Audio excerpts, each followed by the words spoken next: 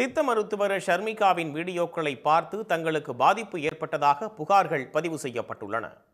சென்னையைச் சேர்ந்த சித்த மருத்துவர் ஷர்மிகா சமூக வலைத்தளங்களில் சித்த மருத்துவ குறிப்புகளை தெரிவித்து வந்தார்.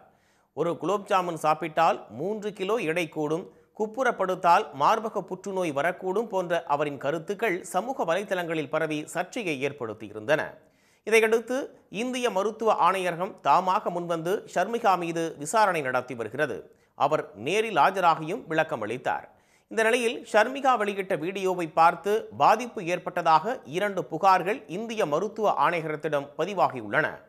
புகார் கொடுத்தவர்களிடம் விசாரணை நடத்துவதற்காக அழைப்பு விடுக்கப்பட்டுள்ளது. புகாரில் உண்மைத்தன்மை குறித்து விசாரணை நடத்தப்பட்ட பின் சட்ட ரீதியான நடவடிக்கை குறித்து ஆலோசிக்கப்படும் என தெரிவிக்கப்பட்டுள்ளது. உடனுக்குடன் செய்திகளை தெரிந்து கொள்ள சன் நியூஸ் பெல் ஐக்கான கிளிக் பண்ணுங்க.